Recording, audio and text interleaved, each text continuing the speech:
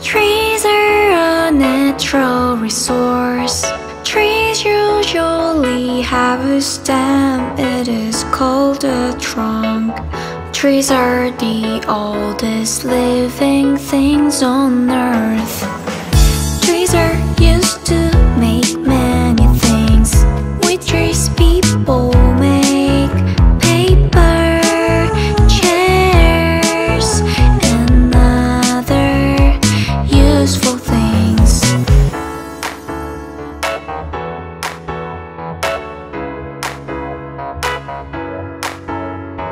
Trees give us clean water to drink.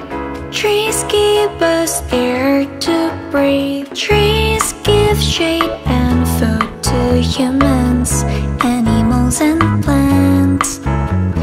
Trees provide habitats for animals and